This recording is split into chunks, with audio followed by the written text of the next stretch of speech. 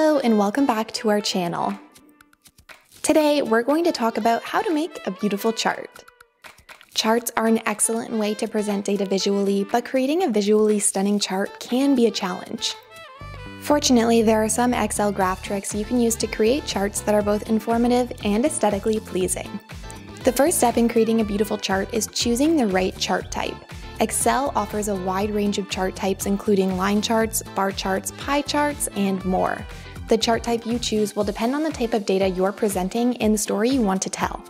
Once you've chosen the right chart type, it's time to format the chart. Here are some tips to make your chart stand out.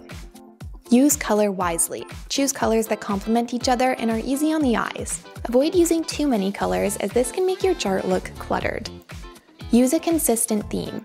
Choose a consistent color scheme, font, and style for your chart. This will make it look professional and cohesive.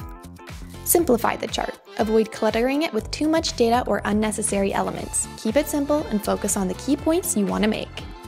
Use a clear title and axis label.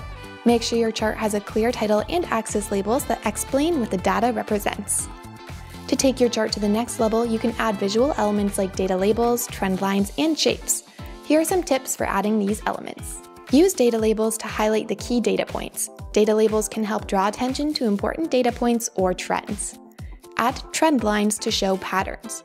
Trend lines can help visualize patterns in the data and make it easier to understand. Use shapes to highlight areas of interest. Adding shapes like rectangles or arrows can help draw attention to specific areas of the chart.